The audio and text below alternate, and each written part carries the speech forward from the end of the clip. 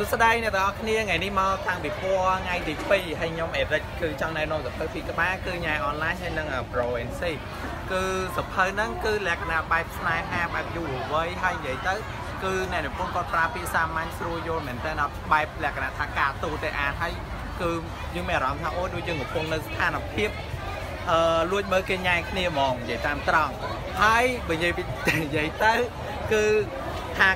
លើសពីខ្ញែទៀតគឺខ្ញែម្ទេសអានហើយស្នេហានេះគឺលមាស់កាហាយគួរឲ្យឆ្ងាញ់មកមិនចាំបាច់ថាផ្អែមល្ហែមដូចទឹកឃ្មុំទេអញ្ចឹងញ៉ាយអនឡាញនេះគឺត្រូវយុវវ័យមែនតើអញ្ចឹងកុំភ្លេចណាមកនគរអានស្តង់លេខម៉ានបង33ស្តង់លេខ33នៅនៅសល់ថ្ងៃហ្នឹងហើយថ្ងៃស្អែកទៀតអញ្ចឹងមានតែ2ថ្ងៃហ្នឹងទេរស់រាន់ឡើងបាយបាយអ